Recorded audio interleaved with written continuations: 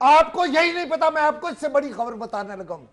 America Afghanistan और भारत और Kashmir issue पर सब इदारे और इमरान खान एक सतह पर हैं। मैं आपको आ, शायद अखबार नवीस के तौर पर बड़क मार रहा हूँ कि ट्रंप भी इससे शायद डिस्टर्ब है।